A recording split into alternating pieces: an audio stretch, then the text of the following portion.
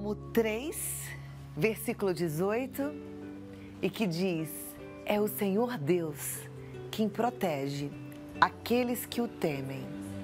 É Ele quem guarda aqueles que confiam no seu amor. Você teme a Deus, Ele te guarda. Você confia em Deus, Ele cuida de você.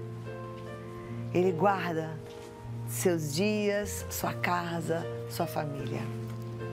Creia nisso e descanse. Viva em paz sob a proteção desse Deus maravilhoso, viu?